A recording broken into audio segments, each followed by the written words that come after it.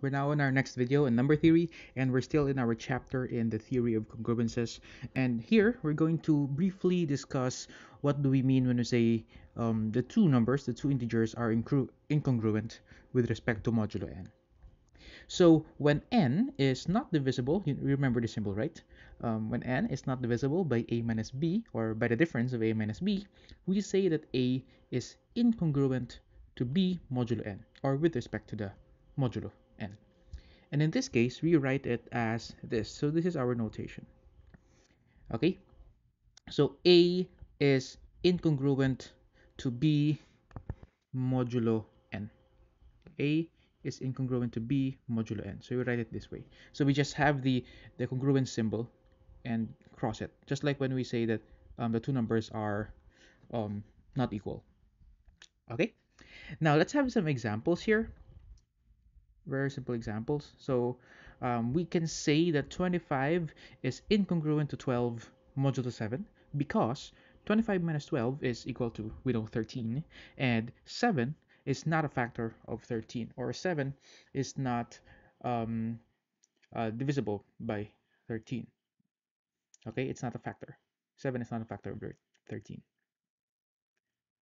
Okay, so you can see here that um, the n is not divisible by the difference of a minus b, so therefore we say that it's incongruent. Okay, so let's have more examples of it, and maybe we can go back to the congruence uh, so that we can say or we can have some review first. So 23 is said to be congruent to 3 mod 5, so let's let's check on that. Is this true? Um, let's say because. Um, let's try 23 minus 3. Okay, 23 minus 3 is clearly equal to 20 is equal to 20 okay and we can see the 20 okay is equal to 4 times 5 okay so in short we can say that um, 5 is divisible by 20 Okay, 5 is divisible by 20.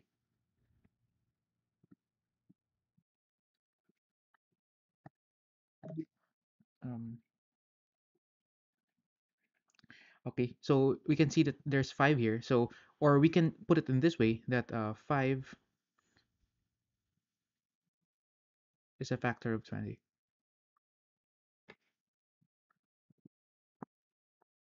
Five is a factor of 20. Okay, so which makes it correct. How about here? 48 is congruent to 12 modulo 6. So we say because um, 48 minus 12 is equal to, what's 48 minus 12 anyways? So that's uh, 36. And 36 is equal to 6 times 6. That's 6 squared. So that's clearly 6 times 6 or we can simply say we can write it um, or we can say that 6 is divisible by 36 okay? Or 6 divides 36 or uh, 6 is a factor of 36 okay next up we will have um, 28 congruent is congruent to negative 4 mod 16 so why is that true? Okay why is that true? Uh, because we can have uh, 28 28 um, minus negative 4 so that's double negative. This is going to give us uh, what number? Uh, 28 minus minus 4 that's 28 plus 4 is going to give us 32 and 32 is 2 times 16 or again we can simply say that um, 16 divides 32 or 16 is a factor of 32 okay so we can see that in all of these examples that um, the two integers a and b 23 and 3 in this in this part 48 and 12 in here and 28 and negative 4 in here are all um, congruent with respect to their modulo.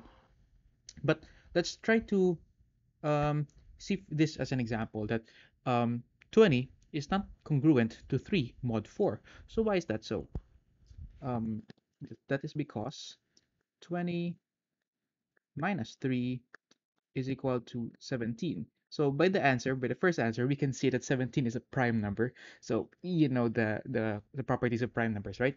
So 17, okay. Um, there's no factor of 4. Okay, 4 is not a factor of 17. Okay, because 17 is clearly a prime number, so so we cannot have um 4 as one of its factors. So therefore, it is not congruent. It is not congruent. Uh, rather, it's not divisible, and also it follows that it is not congruent. Okay. Um, so that's it for the incongruence. We just use the, the, the cross in the congruent symbol. So let's move and take a look at this note. Maybe we can say that this is a remark some sort. And okay, here it is.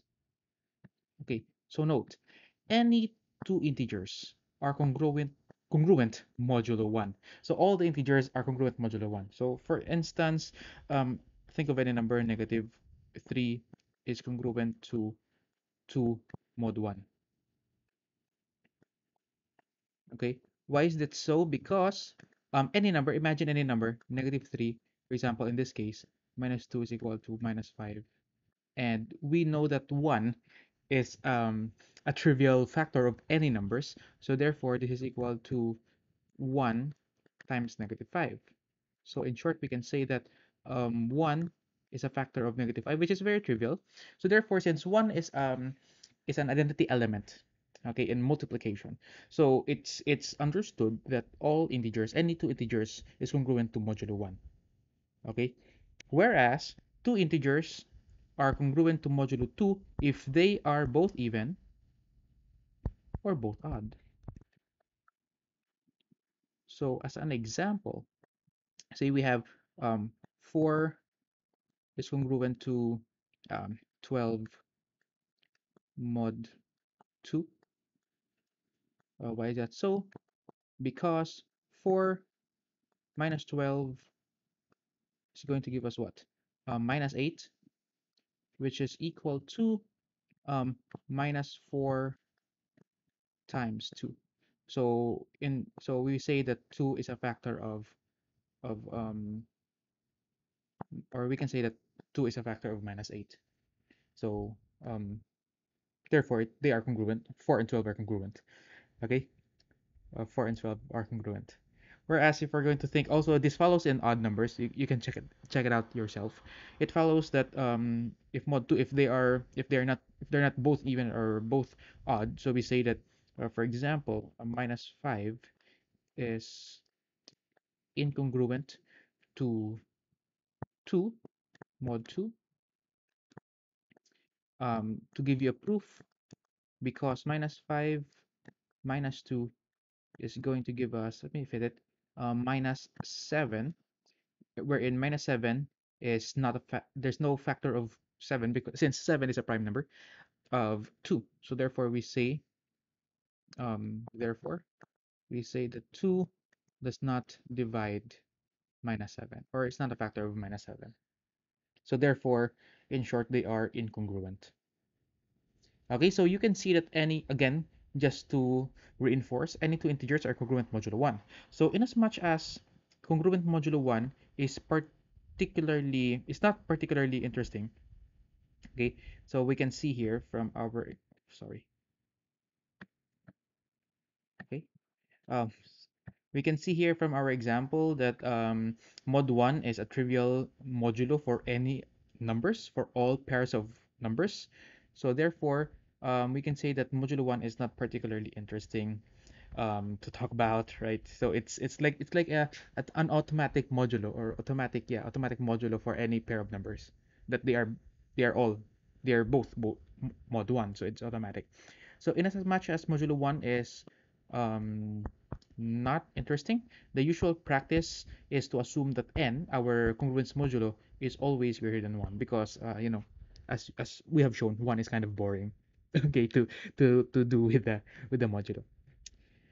Okay, so that's it for this video. Uh, we just have um, more exercises in the theory of congruences in modular arithmetic if you want or clock arithmetic and we have um, talked about incongruence and the notation and also um, about the congruence modulo 1 that all pairs of numbers are congruence modulo 1 and also the congruence modulo 2 is only true if they are both even or both odd. Okay, so that's it for this video. Thank you very much for watching and I hope that you would like and subscribe. Okay, see, thank you and see you.